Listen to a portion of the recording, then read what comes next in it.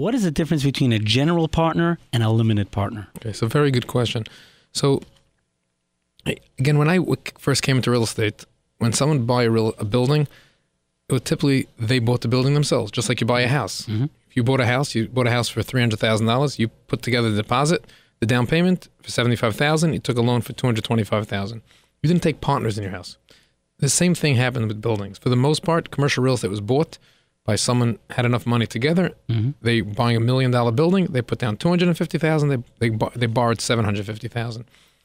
If they couldn't afford it, let's say the building went to a million five and they only had two hundred fifty thousand. Right. In that case, they would go and see someone else that was also a buyer of real estate and said, you know, let's buy this together. Either half 50 50, 60 40, 75 25, one third, mm-hmm. two thirds.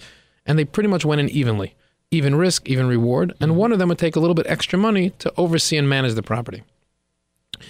As time started progressing mm-hmm. and the internet allowed people to buy things on a more national basis and data it was people knew more things that were going on and banks and, and Wall Street started lending and there were opportunities to get, get bigger checks and bigger mm-hmm. funds.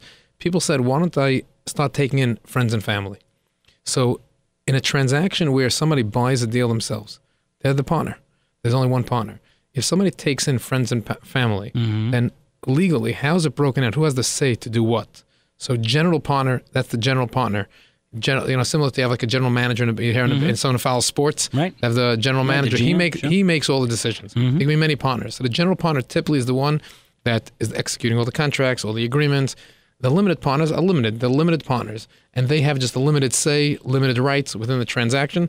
Typically, also, if something goes sour, and the bank wants to look to somebody to help them out, they're going after the general partner, the GP, versus the limited partner. I love the honor of interviewing C level executives and sharing their great advice and perspective on Mind Your Business. I'd love to get your feedback. Post it in the comments below and subscribe. You'll never miss an edition of Mind Your Business.